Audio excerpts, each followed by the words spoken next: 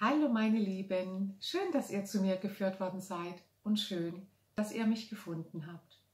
Für alle, die neu sind, ich verbinde mich mit Seelen, das heißt, wenn du Fragen an deinen Seelenpartner hast, an deine Seele, an die Seele deiner Nachbarin, Kinder, Arbeitskollegen, Chefin, Chefin, Chef, Freundin, egal an welche Seele, dann brauche ich die Fragen dazu. Ich verbinde mich mit der Seele, stelle mich als Kanal zur Verfügung und spreche das aus, was die Seele dir mitteilen möchte. Das geht auch, wenn du eine Sucht hast oder immer wiederkehrende Schmerzen. Auch das möchte dir ja was mitteilen. Ist irgendetwas aus, der, aus dem Gleichgewicht gefallen, aus der göttlichen Ordnung und möchte dich da mit dieser Sucht oder mit diesem Schmerz darauf hinweisen. Schau mal hin. Ja, auch da kann ich mich mit der Sucht oder mit dem Schmerz verbinden zum Beispiel die Frage stellen, wieso bist du da, was möchtest du mir mitteilen, was ist mein nächster Schritt, dass ich da in Heilung kommen kann. Ja, ähm, genau, ich habe auch unten ein Video verlinkt, da kannst du sehen, wenn ich mich mit einem Seelenpartner verbinde, ähm, ja, wie das dann so, wie ich das dann so mache. Ja, und auch für alle, die neu sind, ich war 20 Jahre on-off mit meinem Seelenpartner die letzten zweieinhalb Jahre mittlerweile, die Zeit rennt so, also ich, ich, mittlerweile sind es zweieinhalb Jahre, hatte ich gar keinen Kontakt mehr mit ihm. Und ähm, ja, jetzt haben wir seit ungefähr sechs, acht Wochen wieder Kontakt. Und da berichte ich ja immer mal wieder, ähm, was gerade der Stand, wie der Stand bei uns ist. Und er öffnet sich ja auch immer mehr und redet auch immer mehr wieso er dieses und jenes getan oder nicht getan hat, gesagt oder nicht gesagt hat. Und ähm, da möchte ich euch auch teilhaben lassen. Und genau auch heute ist wieder so ein Thema. Ich möchte über das Thema Lügen sprechen. Und ähm, mein Seelenpartner hat mich ja auch ständig belogen. Ja? Und ähm, da haben wir auch drüber gesprochen. Und ich habe ihn auch gefragt, ja, wieso hast du mich denn belogen? Und da hat er gesagt, er wollte halt immer gut dastehen ähm, vor mir. Ähm, und er hat irgendwo schon immer gespürt, dass er innerlich ähm, gar nicht so die Stärke hat, dass er innerlich sehr verletzlich ist. Und da, ähm, das konnte er mir aber zu der Zeit nie offenbaren, weil er das selber auch nicht richtig greifen konnte. Er hat zwar immer gespürt, da ist was, aber er konnte es nie greifen. Und das kennen wir ja auch im Leben. Ja, da ist irgendwas, so ein Gefühl und es dauert eine Weile, bis wir wissen, ah, das ist es. Oder wir brauchen Hilfe von außen, um dahin zu kommen, was es denn ist. Und bei ihm war halt die Lügerei, weil er der Starke spielen wollte. Ja? Und äh, das ist die eine Seite. Die andere Seite ist aber auch, ähm, er musste mich auch belügen, weil ich mich ja selber immer belogen habe. Er hat mir das ja dann damit zurückgespiegelt. Ja, Heute weiß ich das, dass er ähm, mich belügen musste, um mich darauf hinzuweisen, schau mal, wo, wo belügst du, du dich denn?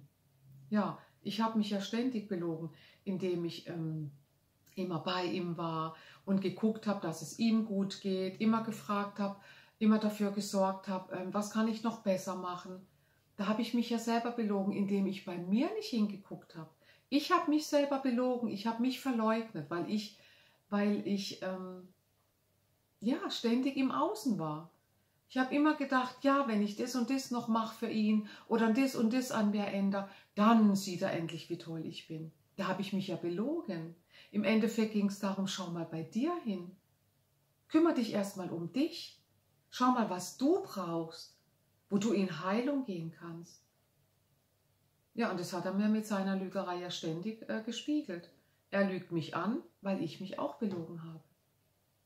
Ist ganz interessant. Schaut mal hin, wenn euer Seelenpartner euch belügt oder Gefühlsklärer, Dualseele, nennt, nennt wie ihr es wollt. Ähm, schaut mal hin, wenn er euch belügt. Wo belügt ihr euch dann selber? Ja? Das ist ganz wichtig und ähm, ja, da gilt es hinzugucken. Wo belügen wir uns selber, dass er uns belügen muss? Und das Schöne ist ja, jetzt belüge ich mich ja nicht mehr, jetzt bin ich authentisch. Ich bin ja geheilt, was dieses, ich, ich bin jetzt bei mir angekommen. Und deswegen kann er jetzt auch kommen und sich auch öffnen, weil meine Maske gefallen ist, dieses mich selber belügen, da haben wir ja auch eine Maske auf. Wir sind nicht authentisch, wir machen uns was vor. Und jetzt, wo meine Maske gefallen ist, kann auch seine Maske fallen. Und wir sprechen offen und ehrlich darüber. Und es geht aber nur, weil ich jetzt geheilt bin und er das auch spürt. Und jetzt kann auch er in Heilung gehen, indem wir darüber sprechen, indem er sich jetzt wirklich voll und ganz offenbart und mir sagt, weißt du, ich wollte früher stark sein. Ich wollte dir beweisen, wie toll ich bin, weil ich innerlich gespürt habe, irgendwo, gar nichts ist toll. Und diese Maske, diese Lügerei hat er 18 Jahre lang aufrechterhalten müssen, weil ich 18 Jahre lang mich selber belogen habe.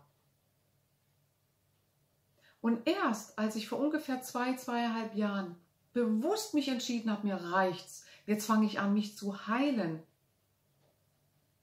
dann hat es auch bei ihm angefangen zu rattern. Er hat es energetisch gespürt und dadurch konnte er auch in Heilung gehen und sich immer mehr hinterfragen. Das erzähle ich euch ja immer wieder mal in den letzten Videos. Habe ich euch das ja schon auch immer wieder mitgeteilt. Und ähm, das ist so das Wertvolle, dass wenn du dich heilst, zieht er automatisch mit, auch wenn ihr keinen Kontakt habt. Wir hatten über zwei Jahre keinen Kontakt, aber er hat es energetisch gespürt und deswegen musste er in Heilung. Das erzählt er mir ja, dass er dann angefangen hat, immer mehr Bücher zu lesen oder dann sind Situationen gekommen, genau. Und er musste mich auch, wie ihm das auch bewusst geworden ist, dass er mich immer mehr, dass er mich so belogen hat, war, in dem Moment, wo ich angefangen habe, mich zu heilen, hat er sich ja hinterfragt. Und dann sind ihm Situationen im Außen bewusst geworden, die waren schon immer da in seinem Leben, aber er hat es immer mehr wahrgenommen, dass er im Außen auch von Menschen belogen wurde. Und dadurch ist ihm aufgefallen, stopp. Ich habe die Sabine Michelle auch immer belogen. Und weil er das erste Mal, je mehr wir ja in Heilung gehen, spüren wir ja, nehmen wir ja viel wahr. Und er konnte dadurch wie gesagt, er wurde ja vorher sein Leben lang auch immer belogen.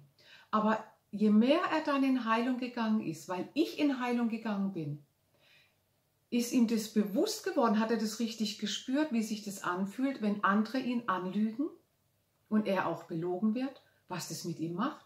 Wie scheiße, sorry für das Wort, aber es ist so, wie scheiße sich das anfühlt. Wie weh das macht. Und damit ist ihm bewusst geworden, schmerzlich auch, wie muss sich erst die Sabine Michel gefühlt haben? Weil wir waren ja in einer Beziehung, wir waren ja in der Liebe. Dieses Lügen, wenn er von anderen, von Nachbarn oder von was, was ich jemand belogen worden ist, ist es ja auch schon schlimm. Aber wenn man, wenn man erkennt, wie schlimm das ist, ähm, die eigene Freundin, die, die Person, die man ja wirklich liebt, belogen zu haben, das ist nochmal eine Dimension schlimmer. Und es ist ihm bewusst geworden, wie, schmerzhaft bewusst, mein Gott, jetzt spüre ich, wie es sich anfühlt, wenn man belogen wird. Und jetzt kann ich verstehen und nachfühlen, wie es meiner Sabine Michel gegangen ist. Und da reden wir offen drüber. Ja? Also, er lügt, weil du dich belügst. Und er lügt, weil er da Starke spielen muss, weil er innerlich schwach ist, verletzlich ist. Und das kann er aber erst dir mitteilen und zeigen, wenn du in Heilung bist, wenn du geheilt bist. Ja? So, und ich biete in meiner Webseite viel an. Schaut nach. All das, wo ich mich dann selber in Heilung gebracht habe, möchte ich euch weitergeben, möchte für euch da sein und ich biete es euch an. Ja? Schaut nach. Ich habe viele Werkzeuge, viel, was ihr benutzen könnt, wo ich euch unterstützen kann. Seelenbotschaften, Vier-Schritte-Anleitung, Blockadenlösung, die habe ich jetzt noch nicht drin. Schaut, lest die Kommentare nach und in meiner Webseite. Und ähm, ich möchte euch, wisst ihr, ich habe nie geglaubt, dass, ähm, dass ich mal da sitze, wo ich jetzt sitze. Glaubt mir, ich habe die Hölle durch in meinem Leben und viele haben auch die Hölle durch. Ich hatte sämtliche Süchte, Bulimie, ich hatte Kaufsucht, ich habe bis vor zweieinhalb Jahren geraucht oder bis vor zwei Jahren wie ein Schlot, wirklich. Ich hatte Depression, ich wurde ständig gemobbt, ich hatte ähm, so viel Süchte, das ist alles weg. Ich bin geheilt. Und da müsst ihr hinkommen, da dürft ihr hinkommen. Und ihr werdet spüren und selber erleben, was sich für Türen auftun. Er ist wieder gekommen, wir sind wieder in Kontakt. Er spricht sogar davon wieder, ähm, immer wenn wir on-off waren, hat er gesagt, ja, nur Freundschaft, nur Freundschaft. Vielleicht entsteht mal mehr draus, aber jetzt erstmal nur Freundschaft. Dolche, Dolche, Dolche, die ich ins, ins Messer gerammt bekommen habe. Jetzt spricht er davon, dass er mit mir zusammenziehen möchte, dass das in seinem Kopf ist, dass er sich darüber Gedanken macht. Jetzt, wo ich, wo, wo es für mich völlig in Ordnung ist, wenn er sagt, er will nur Freundschaft, und ich merke, es triggert mich nichts mehr an, jetzt kann er einen Schritt weiter gehen. Und jetzt ist Thema zusammenziehen. Also immer mehr. Ist das nicht toll? Und deswegen lege ich euch so ans Herz, ihr könnt es alles auch haben, wenn ihr in Heilung geht. Und wenn ihr in Heilung seid und ihr an einem Punkt seid, dass ihr nicht mehr wollt, doch, macht weiter. Glaubt mir, ich war oft an dem Punkt, wo ich gesagt habe, ich habe die Schnauze voll, mir reicht's. Ich will nicht mehr. Schaut mal, ich sitze hier. Ich habe weitergemacht. Und ihr macht auch weiter, okay? Also meine Lieben, glaubt an euch, bleibt dran, heilt euch. Und auch wenn ihr es nicht für ihn macht, macht es für euch. Im Endeffekt, er zieht ja trotzdem nach. Ja, weil manche sagen, nee, für ihn heile ich mich nicht. Ich mache es doch nicht wegen ihm. Oder ähm, ich habe keine Lust mehr. Und dann geben viele auf. Nein, dann macht es für euch. Und trotzdem ist der schöne Nebeneffekt. Er zieht trotzdem mit. Die letzten zwei Jahre, zweieinhalb Jahren habe ich auch gesagt, mir reicht's. Mach's nicht mehr. Will nicht mehr. Punkt. Ich habe es für mich gemacht. Und jetzt ist er da. Okay? Ganz automatisch. Ganz automatisch. Okay, ihr Lieben? Also. Ich habe euch lieb und ich danke allen, ich danke euch allen, dass ihr mir so vertraut. All meinen Kunden, ich liebe euch und ich danke euch aus tiefstem Herzen, dass ihr mir so vertraut und auch immer mehr wirklich die Chance nutzt, wenn ihr spürt, ihr steckt gerade, dass ihr die Blockadenlösung macht oder dass ihr ein 15 Minuten, 20 Minuten Gespräch bucht, wenn ihr spürt, ihr kommt gerade nicht weiter. Und dann geht es wieder weiter, weiter, weiter. Ja, sondern ihr nutzt die Chance immer mehr und ähm, bucht einfach nur diese 15 oder 20 Minuten, wenn ihr wirklich gerade merkt, was ist das gerade? Ich komme da nicht weiter. Weil dieses, diese Blockaden halten euch ja, dann steht ihr. Und wenn ihr steht, steht er auch. Also, bleibt dran, bleibt dran, bleibt dran, ihr Lieben. Ich liebe euch. Okay? Wenn euch das Video gefallen hat, freue ich mich über einen Daumen hoch, dass ihr mich weiter teilt, dass ihr mich abonniert und ich würde mich auch über einen Energieausgleich würde ich mich auch sehr freuen. Okay? Also meine Lieben. Tschüss, eure Sabine Michelle.